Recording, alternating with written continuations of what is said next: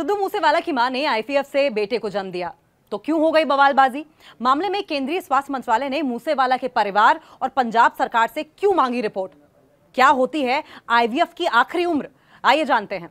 IVF को लेकर यह पूरा विवाद क्या है? पंजाबी सिंगर सिद्धू मूसेवाला की माँ चरण कौर ने अट्ठावन साल की उम्र में बच्चे को जन्म दिया है और इसके लिए उन्होंने आईवीएफ टेक्नोलॉजी का सहारा भी लिया है। बच्चे के जन्म के बाद से ही इस मामले में विवाद लगातार बढ़ता चला जा रहा है। केंद्रीय स्वास्थ्य मंत्रालय ने पंजाब सरकार और मूसेवाला की माँ से जवाब तलब भी किया है। आईवीएफ तकनीक का अट्ठावन साल की उम्र में इस्तेमाल करने को लेकर अब रिपोर्ट मांगी गई है और इस पूरे विवाद के बीच आपके लिए यह भी बेहद जानना ज़रूरी है कि भारत में आईवीएफ कराने की सही उम्र आखिर क्या होती है? क्या है सही उम्र? कई सही एज क्या है? क्या आईवीएफ कराने से पहले कोई रजिस्ट्रेशन कराना होता है? और क्या आईवीएफ सेंटर निसंतान कपल को इसके बारे में सभी जानकारी देते भी हैं या कोई जानकारी नहीं देते? आइए, ये भी जानते हैं।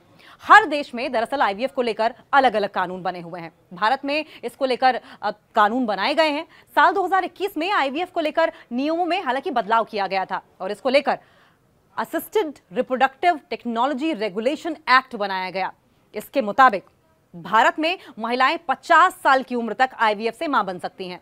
पुरुषों में ये 55 साल की उम्र है। हालाँकि, एक बड़ा सवाल ये भी है कि क्या सभी प्राइवेट आईवीएफ सेंटरों में सरकार के नियमों का पालन किया जाता है या फिर पालन नहीं किया जाता है? इस सवाल का जवाब जानने से पहले चलिए ये जान लेते हैं कि क्या आईवीएफ के लिए निसंतान कपल को किसी सरकारी पोर्टल पर रजिस्ट्रेशन कराना होता है। अब सवाल यह भी है कि क्या आईवीएफ के लिए रजिस्ट्रेशन कराना पड़ता है? तो दरअसल आईवीएफ कराने से पहले किसी तरह का कोई रजिस्ट्रेशन किसी सरकारी पोर्टल पर नहीं कराना पड़ता। अगर कोई कपल इनफर्टिलिटी की समस्या से जूझ रहा है, इस समस्या से परेशान है तो वो आईवीएफ का सहारा ले सकता है। लेकिन आईवीएफ कराने से पहले कई तरह की ऐसी जानकारियाँ होती हैं जो कपल को दी जाती हैं। और इसके लिए एक फॉर्म भी भरवाया जाता है, जिसमें कपल आईवीएफ के लिए आता है जो भी कपल आईवीएफ के लिए आता है, उनसे कंसेंट फॉर्म साइन कराया जाता है। इस फॉर्म में साफ़ साफ़ लिखा होता है कि कपल अपनी मर्ज़ी से आईवीएफ करा रहा है।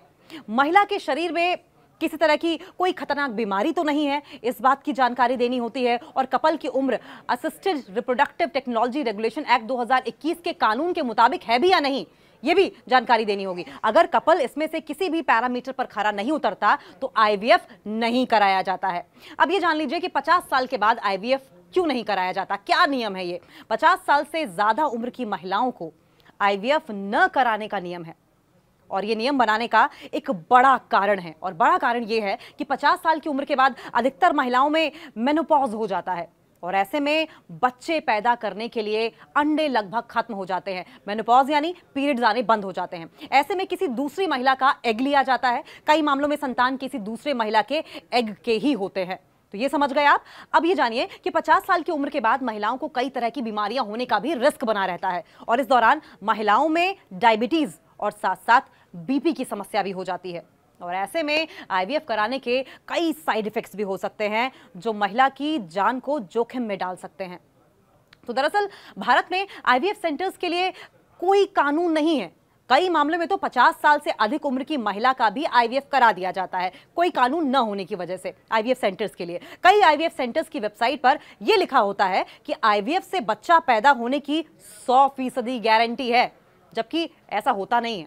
आईवीएफ से बच्चा होने की सफलता की जो दर है, वो 30 से 40 फ़ीसदी ही होती है।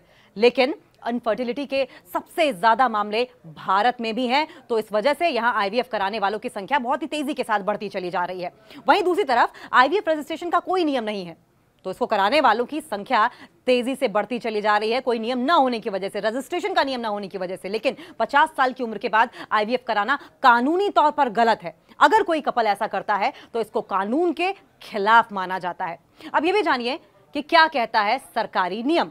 सरकारी नियम क्या है, ये भी जानिए। आईसीएमआर ने अपने एआरटी बिल 2021 में आईवीएफ को लेकर नियम तय किए हैं। इसमें साफ़ साफ़ बताया गया है कि 21 से 50 वर्ष तक की निसंतान महिलाएँ ही इस तकनीकी का, इस टेक्नोलॉजी का सहारा ले सकती हैं। हर आईवीएफ सेंटर को निसंतान महिला को पूरे ब्यौरे के साथ जानकारी देनी होती है। इसमें उम्र की सही जानकारी के साथ साथ डिस्चार्ज पेपर जारी करने तक के सभी लीगल डॉक्यूमेंट्स होने चाहिए।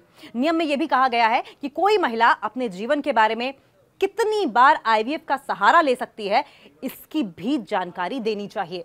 तो दरअसल आईवीएफ के लिए महिला और पुरुष दोनों के ही कई तरह के टेस्ट किए जाते हैं। टेस्ट की रिपोर्ट आने के बाद आगे का जो भी प्रोसीजर होता है, वो शुरू कर दिया जाता है। और इसके लिए सबसे पहले पुरुष के सीमन को लैब में टेस्ट के लिए लेकर जाया जाता है और इसमें से खराब शुक्राणुओं को अलग कर दिया जाता है। और इसके बाद महिला के शरीर से अंडों को इंजेक्शन के ज़रिए बाहर निकाला जाता है और उनको फ्रीज करके सेफ़ रख दिया जाता है। इन अंडों के साथ अच्छे सीमन को लैब में विशेष तरीके से फर्टिलाइज किया जाता है। और फिर उसके बाद इस फर्टिलाइजेशन से जो भ्रूण तैयार होता है, उसको कैथेटर की मदद से महिला के गर्भाशय में ट्रांसफ़र कर दिया जाता है। और इसके कुछ सप्ताह बाद महिलाओं को टेस्ट के लिए बुलाया जाता है। जिससे कि देखा जा सके कि आगे क्या कुछ हुआ है। देखा जाता है कि गर्भ में भ्रूण कैसे तैयार हो रहा है। इसकी अच्छी ग्रोथ के लिए महिलाओं को प्रेगनेंसी के तरह तरह के टिप्स भी बताए जाते हैं।